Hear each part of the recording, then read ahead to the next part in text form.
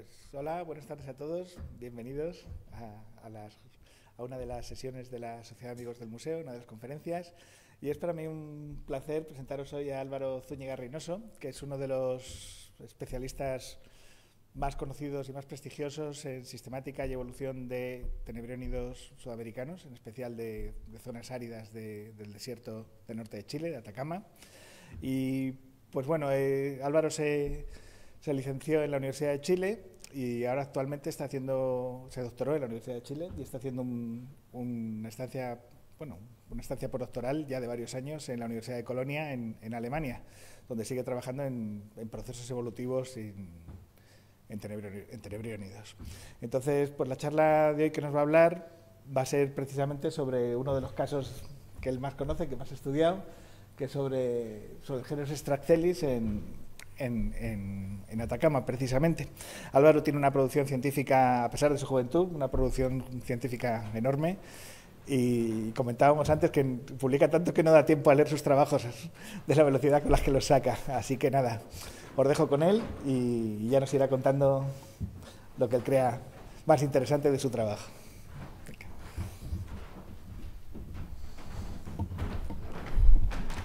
Eh, ok, muchas gracias por la invitación. Primero que nada, agradecerte, Mario, de nuevo por este contacto que fue más o menos repentino, pero que eh, creo que va, a llegar a buen puerto. Bueno, les voy a contar un poquito de esta historia. Eh, primero les tengo que decir que soy chileno, así que voy a tratar de hablar un español lo más neutro posible para que ustedes me entiendan, pero de vez en cuando se me va a salir un chilenismo. y les voy a contar sobre este caso que, bueno, nos llevó harto tiempo poder publicarlo, que básicamente es la historia de la historia biogeográfica de este grupo que se llama Sectracelis, disculpen por el nombre, pero yo no le puse el nombre al grupo, y básicamente es la historia evolutiva o la historia biogeográfica de este grupo en los Andes centrales. Entonces, eh, para ubicarlo geográficamente, les voy a decir que el lugar de estudio está posicionado en lo que es el desierto más árido, pero también más antiguo del mundo, el desierto de Atacama. Y el desierto de Atacama es esta pequeña línea estrecha que está en el lado eh, occidental de, Chile, de Sudamérica, lo que, lo, que hoy día se conoce como Chile. Sin embargo, es solamente este pequeño eh, trozo de ahí, Atacama. todo el resto del desierto de Perú actualmente es conocido como una cosa independiente. Y es tan antiguo, al menos se conoce que existe eh, condiciones de aridez desde la época cretácica hace alrededor de 150 millones de años. Y en el cretácico hubo un corredor cierto árido en toda esta zona que actualmente es Sudamérica, parte de África y la península arábica.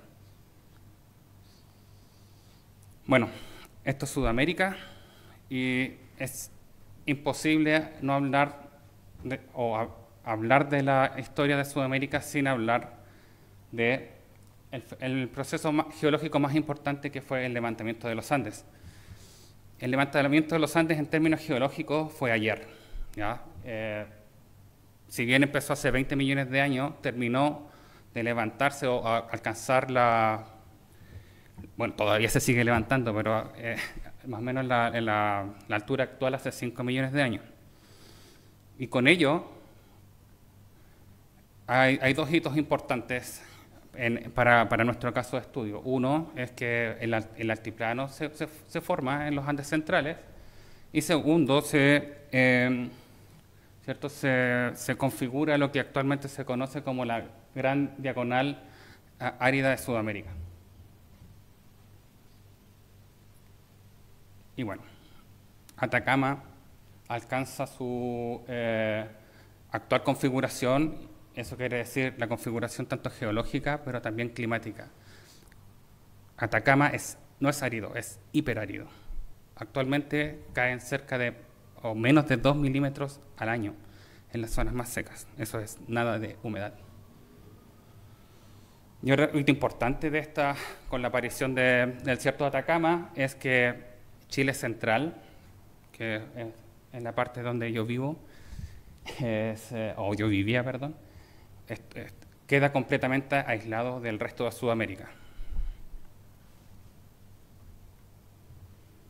El desierto de Atacama, en toda su plenitud, eh, como pueden ver, excepto por ese auto que se nos ocurrió estacionar ahí, no hay nada. Es solo piedras y, sal, em, yeso y otros minerales. Bueno, es muy, es muy rico para la minería, como podrán saber.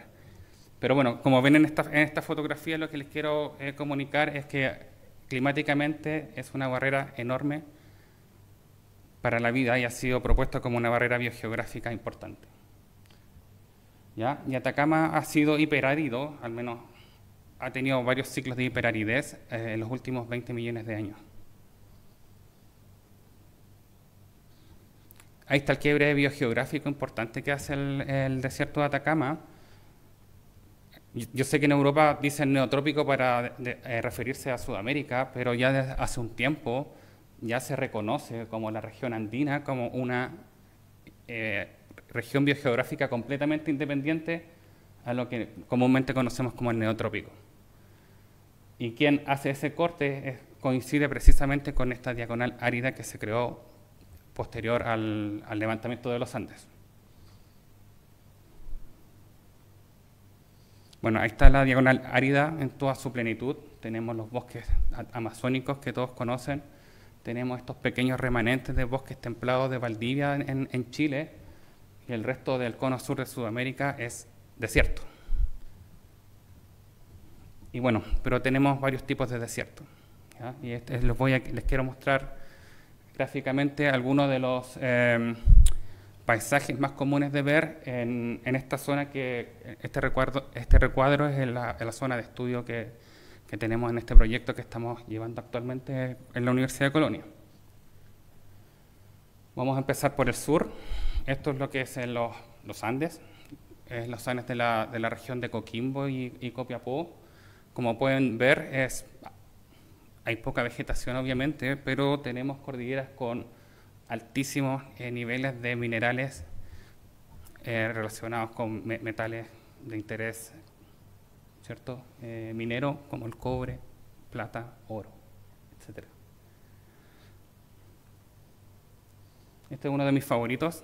Estos son los farellones costeros que ustedes pueden ver en el norte de Chile, en la segunda y primera región, estamos hablando de esta parte de Chile, en donde básicamente se ven eh, formaciones de cactus, es lo único que puede sobrevivir, y bueno, hay algunas otras plantas más pequeñas.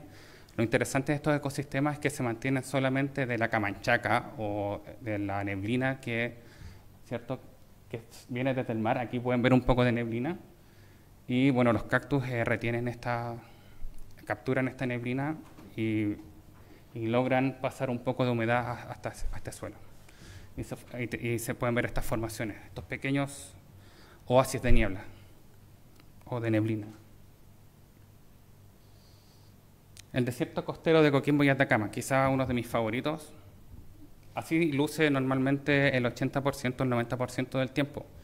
Sin embargo, cuando hay fenómenos del niño y llueve en el desierto, ocurre esto. Florece. Y florece con mantos de flores multicolores que son impresionantes. Es un espectáculo digno de ir a, conocer. Y bueno, está lleno de bichos. Ahí tienen otro, otra fotografía un poco más al interior, pero para que vean la cantidad de diferentes tonos que pueden ver en, las diferentes floraciones. Esto ya es más, está más ligado a, a, la historia que les voy a contar, ¿cierto? Esto es la prepuna. Prepuna significa previo al altiplano, también lo pueden decir precordillera. Y se ven estas raras formaciones en donde, bueno, hay, hay está, lleno de, arbustos, pero aparecen estos eh, cactus columnares gigantes, no sé, quizás de 5 o 6 metros fácilmente.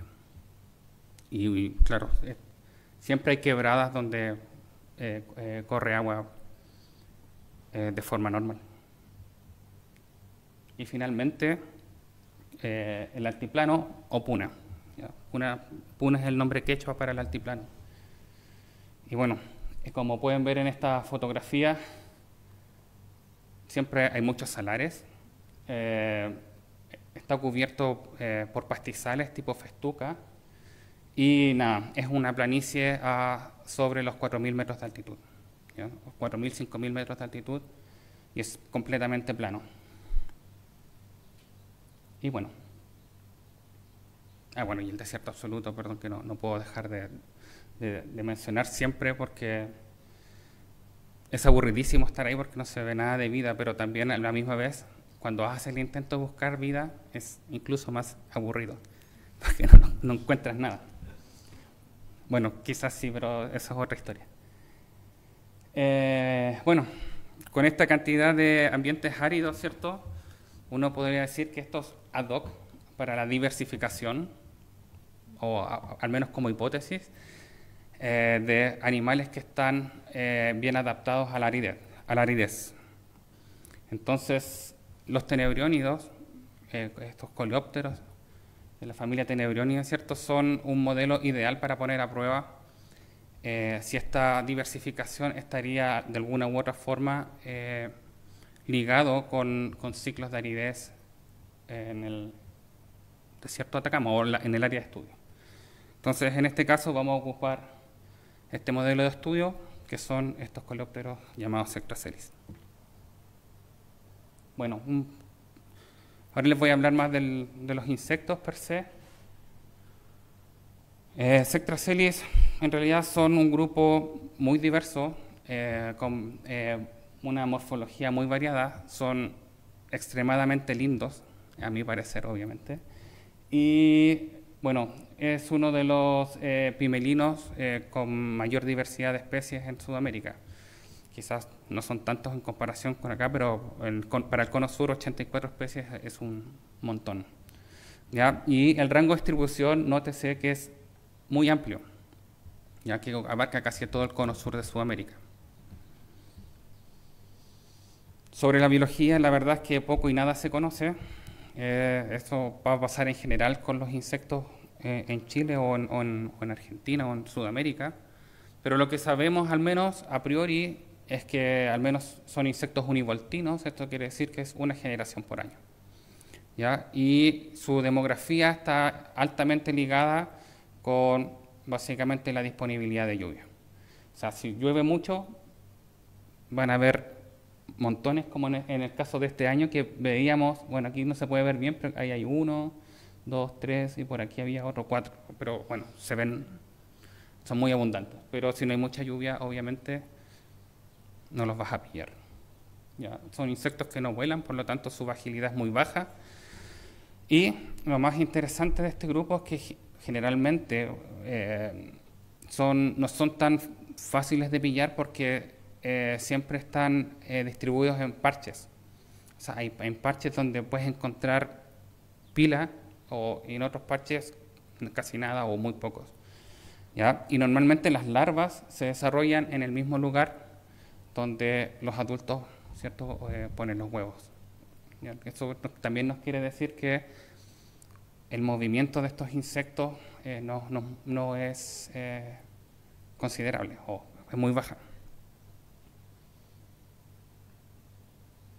¿Qué sabemos eh, sobre la sistemática o la, o, la posición filogenética de, de, de Bueno, Sectracelia es un tenebriónido pimelino que se encuentra posicionado en la, tribu Nictelini.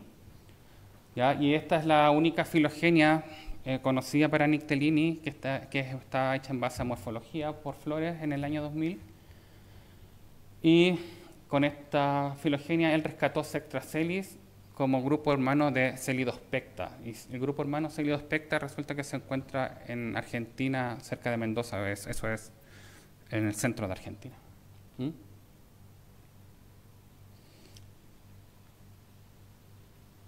Algunos casos de estudio, otras filogenias moleculares que, que son muy parciales, en realidad nos demuestran cosas curiosas. En, este trabajo lo único que hicimos fue describir una especie, que es esta especie de, que la, llamamos Sectracelis amófila, porque se encuentra ciertos eh, relacionada con dunas. Lo interesante de este trabajo, fuera del, del, nuevo, de la nueva especie, es que cuando la recolectamos, yo la tomé y dije, esto es Sectracelis pilosa.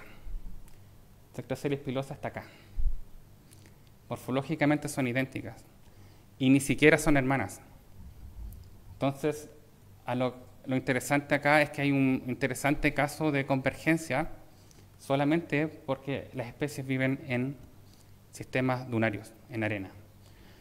Y si no, si no les impresiona tanto este caso de, convergencia, les quiero decir que la sectracelis pilosa que está acá secuenciada es este punto de colecta acá, ¿cierto? Aquí pasa un río que es el río Huasco, y luego inmediatamente, no, esto, esto, no son más de 3 kilómetros de distancia, o quizás aquí 5 kilómetros entre esos dos puntos, y aparece esta otra forma. O sea, tenemos un rango de distribución geográfico pequeño, donde aparecen dos formas que son similares, pero distantes, genéticamente muy distantes, y que ni siquiera son hermanos.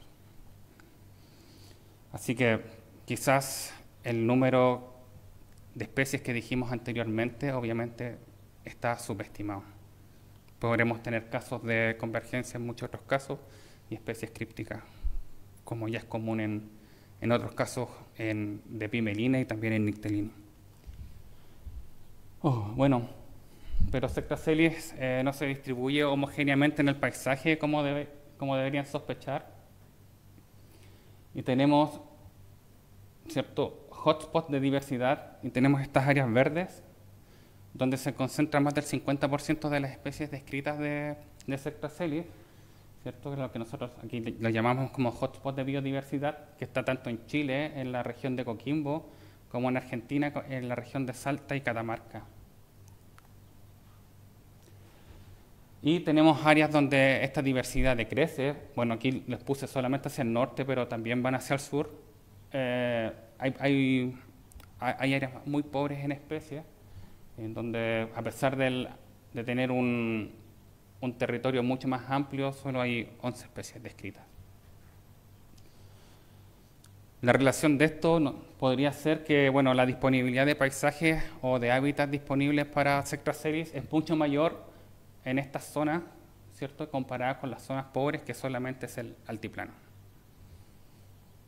¿Ya? Y esta disponibilidad de ambiente, solo son hipótesis, podría determinar, ¿cierto?, el, el que eh, uno encuentra en estas regiones. Y bueno, nosotros pensamos que probablemente la colonización del altiplano eh, podría venir de, estas zonas de eh, hiperdiversidad. ¿Cierto? Entonces la pregunta que nos recae en, nuestro proyecto es eh, cómo fue las dinámicas biogeográficas ¿cierto? En, la, región focal de, nuestra, de nuestro proyecto, que básicamente es esto, pero bueno, consideramos también unas áreas aledañas. Bueno, ya vamos al, a, lo experimental, esto fue lo que hicimos, muestreamos eh, todo el altiplano eh, que corresponde a Chile, que es esta pequeña franja de acá, pero además mostramos algunas eh, áreas que, están, que son áreas colindantes a esta zona de, de interés. Y bueno, también hicimos una, un muestreo intensivo en la región de Coquimbo como zona ¿cierto? de hiperdiversidad. Em, solo para darles una referencia, de norte a sur tenemos más de 1.200 kilómetros de muestreo. Y bueno, aquí pueden ver eh, fotografías, ¿cierto?, sobre los diferentes paisajes que tú puedes encontrar en el altiplano y las diferentes especies asociadas que uno puede encontrar.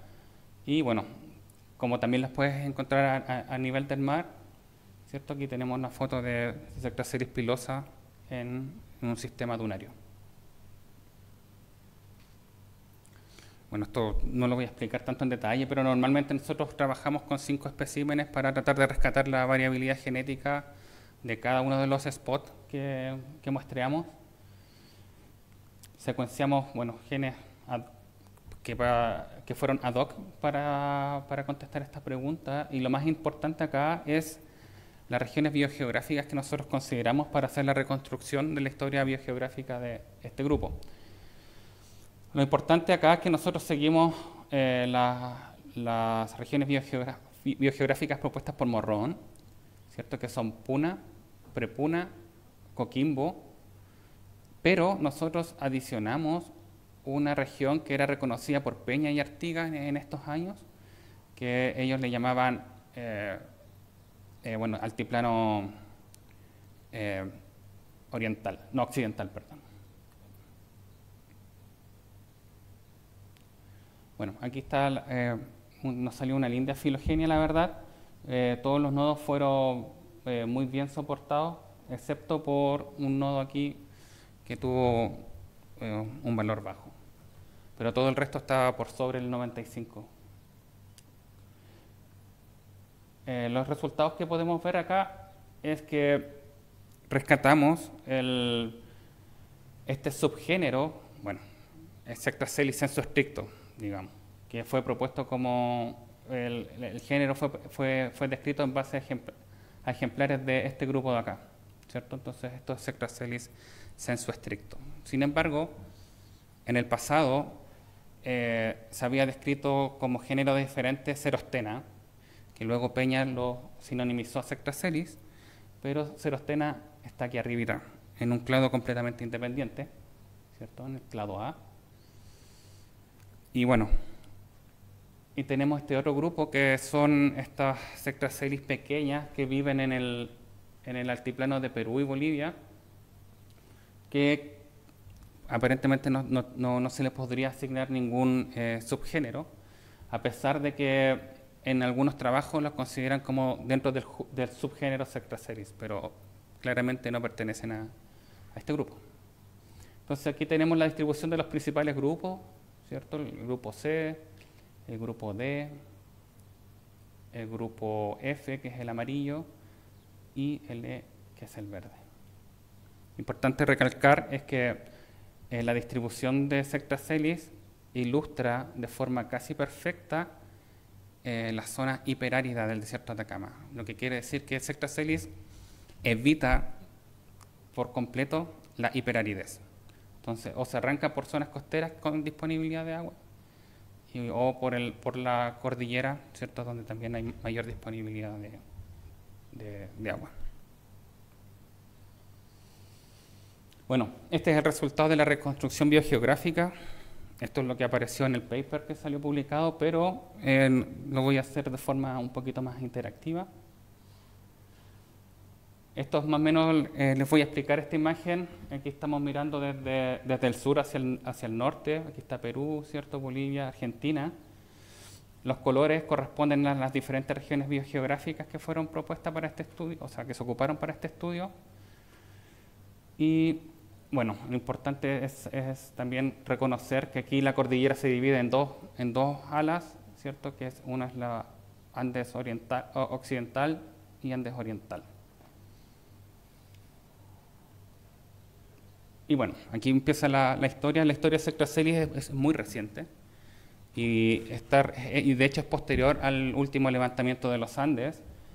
Eh, esta primera cladogénesis que aparece en el grupo eh, fue hace 3.4 millones de años, que a nosotros mismos nos sorprendió porque nosotros esperábamos que esta primera cladogénesis estuviera relacionada con el levantamiento de los Andes, pero no. Eh, pero sí está relacionado con el, el cambio climático global que se sufrió durante el, a, finales del Plioceno, en donde pudo haber forzado a estos grupos a, migrar ¿cierto? a los diferentes eh, eh, slope, em, laderas de, los Andes. Gracias.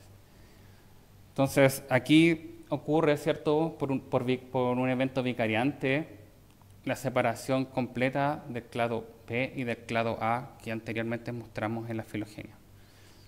Se separaron para nunca más encontrarse. O suena no romántico, pero fue así. Bueno, eh, ¿qué es lo que pasa en el, siguiente paso? Eh, a los 2.6 millones de años, esta parte de, la historia tiene una enorme eh, ampliación de rango que ah, uno podría, el análisis nos, dice que fue por dispersión, pero la verdad es que para nosotros todavía es una cosa no resuelta, porque estamos hablando de más de 800 kilómetros de distancia en, muy poco tiempo, eh, para el corto tiempo para abarcar toda esa, para abarcar toda esa distancia. Entonces no tenemos muy claro cuál fue la historia precisa que ocurrió aquí, que probablemente podría estar ligado a eventos ¿cierto? relacionados con paleolagos. Pero eso todavía estaba, es discutible. Lo que es interesante aquí, sí, es por, el, por, el, lado de Chile, es que hace 2.2 millones de años, por efecto fundador o evento fundador, desde la zona de Coquimbo, Sectra Series, ¿cierto? llega a la cordillera de los Andes nuevamente, a la zona de la Prepuna. ¿ya? Y este evento fundador podría estar ligado con una, un momento de hiperaridez que dejó aislada a una pequeña población en las laderas de la, de la cordillera de los Andes. Consiguiente a los 1.3 millones de años ocurre la explosión, ¿cierto? O la diversificación masiva de lo que eh, hoy día conocemos como el, clado coquimbano, ¿cierto? como les dije anteriormente, Coquimbo está relacionado, o es una zona hotspot de biodiversidad sectracelis, y esta diversificación está fuertemente ligado con el inicio de las oscilaciones climáticas del Pleistoceno. Y bueno, esta, esta estas oscilaciones de básicamente etapas húmedas y secas eh, es la explicación más plausible para esta diversificación masiva en, Coquimbo. Y otra cosa interesante es que Coquimbo, como también les había dicho anteriormente, eh, ofrece una gran cantidad de ambientes disponibles para, para Sectracelis y una de las cosas curiosas que, que hay que evaluar, pero que a mí me, llama mucho la, atención es que las especies andinas, ¿cierto? Siempre presentan esta morfología. Las de, las de planicies internas en Chile siempre presentan esta, esta, esta morfología con, con, patas muy peludas. Y en las terrazas costeras aparecen estos morfos, ¿cierto? Con, con, pilosidad en los, en, los élitros y siempre ligados a, a sistemas dunarios.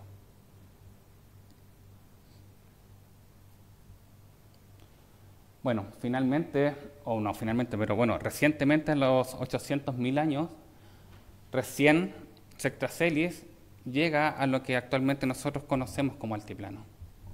O sea, en términos eh, geológicos, esto fue hace unas horas atrás, ¿cierto? Y lo hace con este clado, que es el, clado que nosotros le llamamos eh, del altiplano eh, del este o occidental.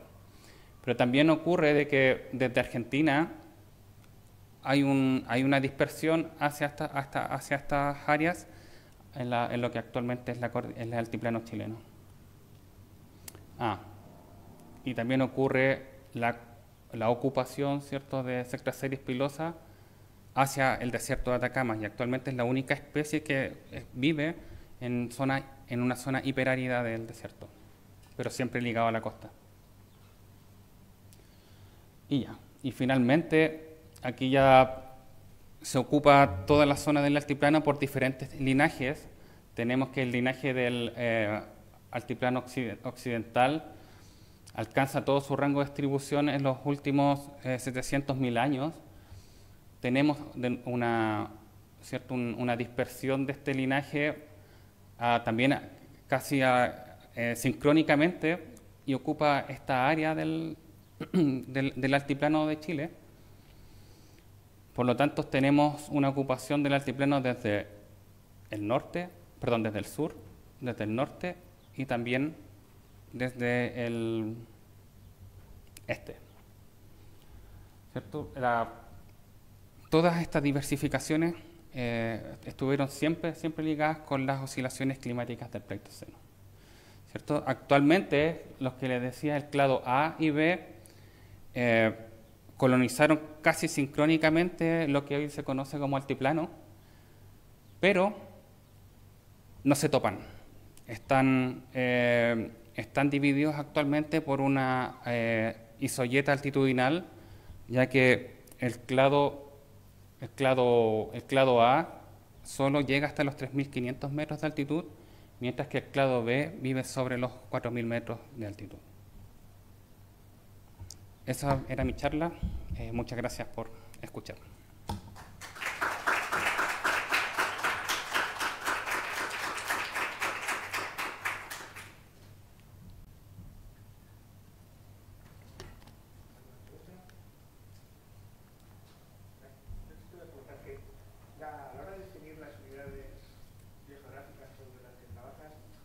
¿Qué influencia tienes en que los individuos más o tendrían a la hora de su eh, tiene influencia, eh, mientras más puedas particionar el, paisaje, digamos, eh, más detalle o mejor puedes contar la, historia biogeográfica de los grupos.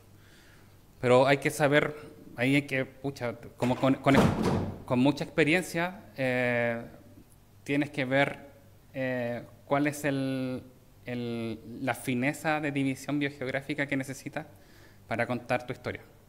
Y eso yo me, me, atrevería a decir que es solo experiencia, más que hay un consejo para, para hacerlo. Sí, pero por ejemplo, en el caso de, de este clado, del clado B, ¿verdad que no, no, encontramos una respuesta plausible para contestar la, esa diversificación, esa expansión hacia el, hacia el norte? Es precisamente porque no tenemos información de un quiebre biogeográfico ahí, pero en base a nuestros datos, ese quiebre biogeográfico es claro Sabemos más o menos dónde es, pero no, no, ha sido propuesto. Entonces, por eso no pudimos, eh, hubiese sido muy ad hoc decir, ok, voy a eh, fragmentar aquí, justo aquí, esta, esta región biogeográfica para tener mi respuesta. Como no ha sido propuesto, no hay trabajos biogeográficos detallados, al menos en el altiplano, en la zona de Bolivia y Perú. Eso todavía está al debe. Pero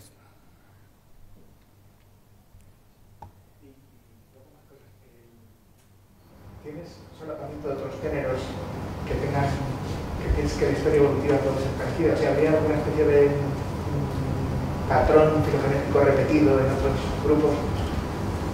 ¿O esto es una cosa muy singular, muy especial, esa costera? Eh, algo parecido a eso, no, pero podríamos contar una historia quizás similar. Si tú, pudiéramos contar la historia de Pilovalia, por ejemplo, que Pilovalia es completamente altiplánico pero sí tendríamos que contar la historia ya desde norte hacia el sur, porque están, las pilobalias están, son mayoritariamente peruanas y bolivianas, y rozan parcialmente esa parte de la región en, Chile. De hecho, nosotros tenemos apenas dos o tres especies descritas, ¿no? de 35. Pero bueno, Pilovalia es un modelo no, no muy ad hoc, porque es parecido a las vaquitas del desierto, aparecen solo cuando llueve mucho en el altiplano. Entonces está, complejo, pero de seguro hay otros grupos, pero con rango de distribución similar no, pero sí hay grupos que se solapan en parcialmente con, con este rango de distribución.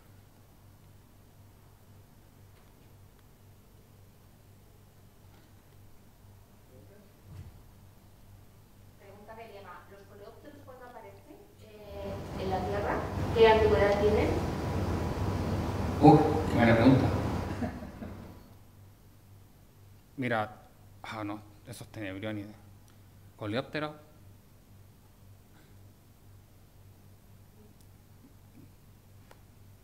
Creo que es como 250, si no me equivoco. Lo que pasa es que hay como muchas disputas y siempre es complicado, pero se puede decir hasta los 250, hasta los 350 millones de años. Y luego cuando mencionabas que el género de el objetivo no entraba en la zona esta hiperárida, ¿no?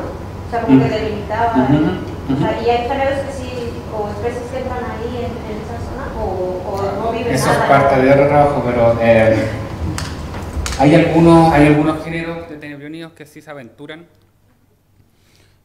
parcialmente a, a, los bordes de la hiperaridez. Y ahí ejemplos está Sameticus, es uno, Eh, el otro que tengo ahora, Fisogaster. Fisogaster está, a veces Fisogaster vive, de hecho hemos encontrado Fisogaster en el hiperárido.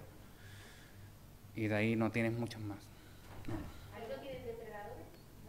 ¿No, ¿No se los comen ahí? Eh, sí, bueno, están los raposos, zorros. Eh, hay zorros, hay gaviotas, hay, hay aves, eh, otras aves, eh, halcones, qué sé yo, que se las pueden comer fácilmente, sí. No, sí hay. Uh -huh. Es que como decías que los huevos, se, las larvas se desarrollan en el mismo sitio donde es la puesta, pensé que a lo mejor no tenían ni que ocultarlos ni nada porque nadie los iba buscando. No, sí, de hecho, bueno, también hay, no sé cómo se llaman, quirquinchos, eh, en español. Eh, no, no, estos eh, cenantra, oh, armadillos, armadillos, que se los comen y hacen hoyo. No, y de hecho las larvas se tienen, siempre están asociadas, bueno, a, a suelo arenoso y siempre bajo plantas, ya, para, para evitar la, la, la, la, radiación o la, el, el suelo caliente.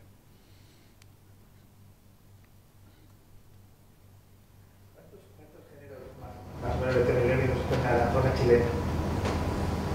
¿En Chile? Sí. Mira, son, es el número de especies. Cuatro, 450 especies. Ahora el número de género. Sí, los números de género debe ser. Mira, en, Atacama hay, hay, hay 30. Chile Central, voy a decir unos 100, 150 géneros. Hay, hay hartos géneros incluso que son monotípicos. Sí, no. El que quiera ayudar, por favor. Sí, porque es demasiado, es demasiado. Y, y, eh, lo, lo que pasa además que eh, cuando uno es estudiante y, y em- y empieza a estudiar estas, estas- estos, estos modelos, de hecho yo elegí Tenebrionide porque es el grupo o la familia o el insecto más estudiado en Chile. De hecho hay un libro de Tenebrionides de Chile y dije, ya, no tengo mucho trabajo que hacer, me dedico a hacer lo que quiero hacer, filogenia, eh, biogeografía, qué sé yo. Nada, te vas encontrando que queda mucho, mucha diversidad por describir. O sea, siempre se dice que Chile es un país pobre en especies, que es verdad. Bueno, pero son endémicos, la mayoría, el 80% de las especies son endémicas, pero también hay muchas especies por describir. Tenemos el fenómeno de la especie críptica, eh, tenemos que Chile, como es un país muy arrugado, o sea, de verdad está, la cordillera y el mar y, y muchas arrugas, entonces casi cada pico de cada montaña tiene microendemismos de insectos que son completamente diferentes y muchos de esos lugares están todavía inexplorados. De hecho, Atacama, ahora yo me vengo a dar cuenta que Atacama ha sido completamente ignorado por muchos especialistas y no, ahí hay muchos, muchas especies por, muchas especies por describir. Atacama no es tan pobre como nosotros pensábamos en un principio. Ahí hay género nuevo. Hace poco describimos género. Hay, hay- bueno, y hay otras cosas que podrían ser incluso más interesantes y a otros niveles, de hecho.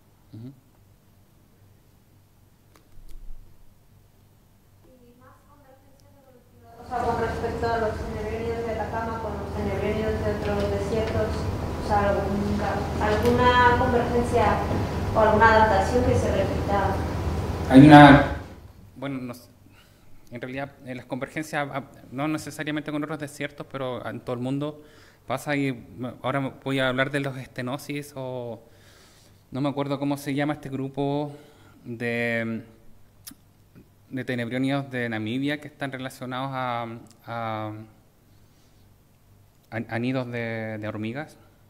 Son mi- pequeñitos. Bueno, en, Chile nosotros tenemos eh, Discopleurus, que es una, un insecto de 1.5 milímetros, es una cosa que apenas se ve, y que si tú los comparas, por ejemplo, con los de Namibia, son prácticamente, no, no son idénticos, pero son muy similares. Son muy similares. sí. Es un caso de convergencia que se me ocurre por, por- en este momento.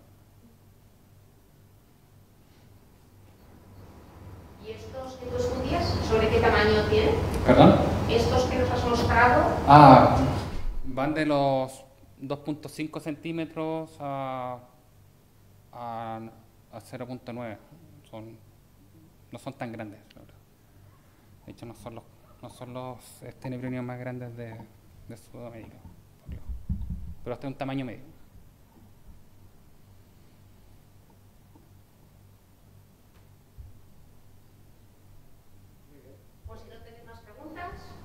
Não precisa chamar